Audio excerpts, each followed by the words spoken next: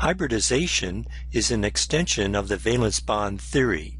In valence bond theory, atomic orbitals, one on each atom, overlap to form a bond. In hybridization, on the other hand, before one overlaps orbitals, one forms hybrid orbitals on an atom by combining atomic orbitals. And then those hybrid orbitals on the atom overlap other hybrid orbitals or atomic orbitals on another atom to form a chemical bond.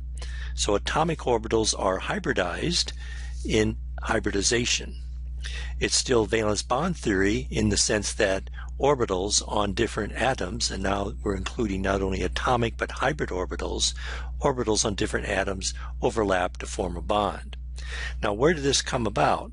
Well, it was driven by the need to justify structure with orbital shapes, and the idea of hybridization was thought up by Linus Pauling in the 1930s.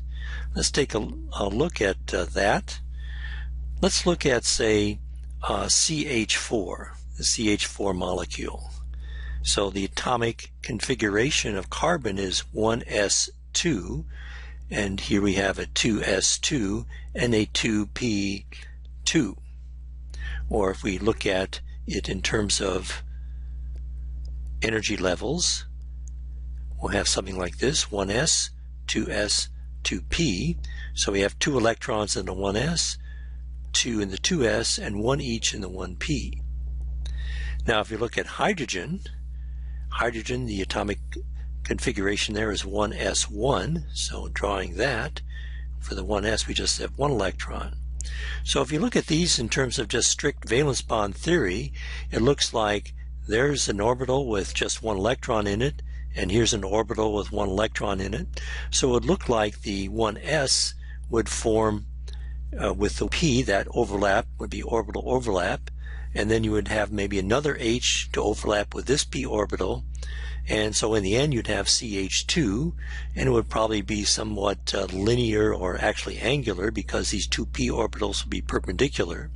So the structure of CH2, if we just look at VB valence bond theory only, we would expect, for instance, CH2, where the C, the H here would be a overlap of the 1s on the hydrogen and the 2p here, and the other p would be up here. This would be 90 degrees. In fact, we know that the CH4 is tetrahedral, that each H points or each CH bond points to the corner of a tetrahedral. So using valence bond only, it doesn't look like you get the right geometry or even the right empirical formula. So Linus Pauling said, well, what we're going to do is to combine atomic orbitals first on the carbon before we actually do the valence bond overlap. So again, let's look at the carbon electronic structure here. It's 1s2 2, oh, I use the eraser function, yay, there we go, 2s2 and 2p2. So here we go, carbon. Let's look here just at the valence electrons. So this would be 2s, this would be 2p. We'll ignore these core electrons, and we'll put two electrons there, one electron there, and one electron there.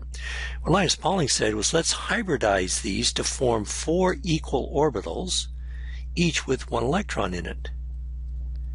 Okay, so we hybridize those. We have now four electrons. We put those in each one of these equal ones. And now, look at this.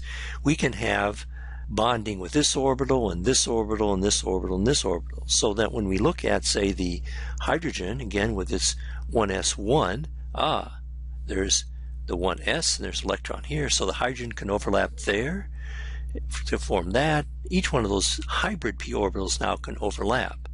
So the bonding in CH4 would be described as, in the valence bond hybridization model, this bond will be described as an overlap of a hybrid, and this will be called an sp3 hybrid orbitals. So there are 1, 2, 3, 4 sp3 hybrid orbitals. 1, 2, 3, 4 and each hybrid orbital is equivalent, points to the corner of a tetrahedron. Overlap of hybrid sp3 orbitals on carbon with an atomic 1s orbital on hydrogen. So that's what the valence bond theory is, is overlap of orbitals, but instead of having an atomic orbital on carbon, we have hybrid orbitals. So first you hybridize, then you overlap in the hybridization valence bond theory. Now, hybrid orbitals, we said, was formed by combination of uh, atomic orbitals a single atom, and you have equivalent orbitals, but they're in different spatial orientation. For example, sp3 considered what we, what we can do is add up all the s and p orbitals, or we can add the s and subtract off the p's, or various combinations here, and each one of these gives an equivalent orbital, and spatially it's pointed in the corners of a tetrahedron. You just can't willy-nilly add orbitals. You have to have symmetry to be maintained, and we'll talk more about that later in the course in another lecture. But symmetry is used to get the rational combination of atomic orbitals in order to get the hybrid orbitals, and the hybrid orbitals then uh, overlap in the valence bond theory. Now let's look at an example. Use valence bond theory in hybridization to describe the bonding in trichloroethylene or trichloroethene. First, let's draw the structure. Structure, double bond C, and we got a chlorine up here. Here we have a hydrogen. Here we have a chlorine and a chlorine. So let's try to describe the bonding. We already looked at the atomic configuration of carbon and hydrogen. For chlorine, again looking just at valence electrons, for chlorine we have 2s2, so two electrons here, and we have five electrons in the p orbitals. Okay, so it looks like this p orbital here is going to overlap in for any of these carbon orbitals. And why don't you hybridize the chlorine? Well, for terminal atoms, you don't need hybridization to explain any kind of structure. So usually you don't hybridize orbitals in terminal atoms. This carbon, remember from organic chemistry or from introductory chemistry, we might recognize that this carbon to be an sp2 hybrid, which means that we've taken one s orbital and two p orbitals and hybridized them. So this carbon now has three hybrid orbitals pointing to the corners of an equilateral triangle, one there, one there, one there. So this means that this bond here can be described as an overlap of a hybrid sp2 on carbon with a atomic 2p orbital on chlorine. There's that atomic 2p orbital that sticks out there. The sp2 hybrid, here's the sp2 hybrid. Here's the atomic p orbital there on chlorine. That overlap forms the bond.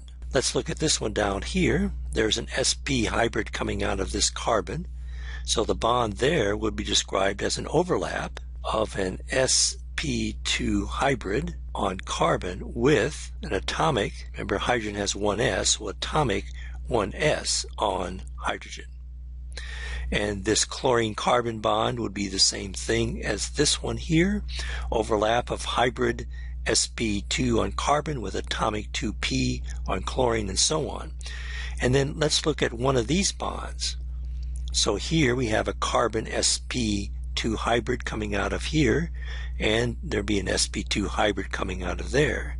So that bond would be described as an overlap of an sp2 hybrid on that carbon with an sp2 hybrid on carbon. So this is a hybrid-hybrid overlap, valence bond overlap.